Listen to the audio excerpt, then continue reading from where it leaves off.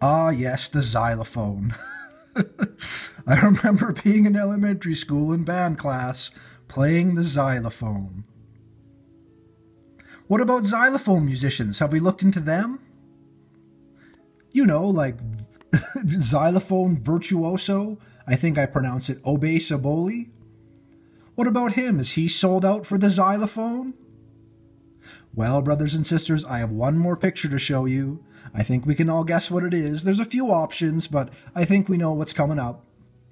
Seeing these pictures like this, it reconfirms again and again that the world is biblical and that salvation is important. It's the most important thing. Heaven and hell, they're real, whether people believe in them or not.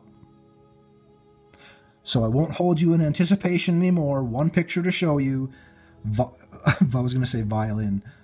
Xylophone virtuoso Saboli. He is doing the Uttara Bodhi Mudra, the gesture of Satan's fake enlightenment, its deception from Satan and the pride of humanity, to pose like this. We see it basically every day, sometimes several times a day. Xylophone virtuoso. The Uttara Bodhi Mudra. Brothers and sisters, we are not making this up. This is reality. Again, it does it confirms for me. Look, the world's biblical. They sold out. They did it. Heaven and hell are real. Jesus died upon the cross for all sinners, and we are all sinners. Christians that are born again, they don't want to sin. They're trying to not walk in the flesh. We're trying to walk with the Lord, pick up our cross. Heaven and hell are real, whether people believe in them or not. Right now, a lot of people are dead in their sins. We're not guaranteed tomorrow. No one is guaranteed another breath on this world.